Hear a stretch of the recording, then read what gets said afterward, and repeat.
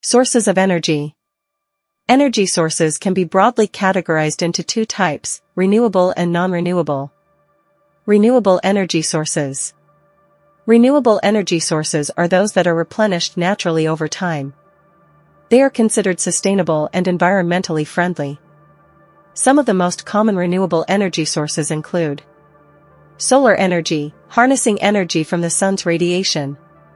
Can be used for heating, electricity generation, and water heating. Solar panels convert sunlight into electricity. Wind energy, converting the kinetic energy of wind into electricity. Wind turbines generate electricity.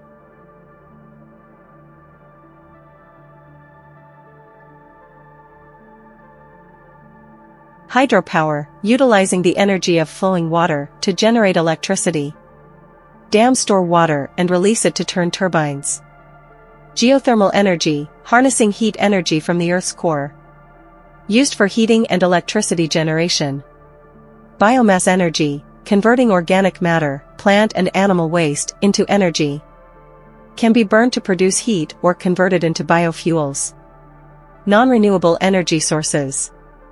Non-renewable energy sources are those that exist in limited quantities and cannot be replenished on a human timescale. They are finite and their use contributes to environmental pollution and climate change.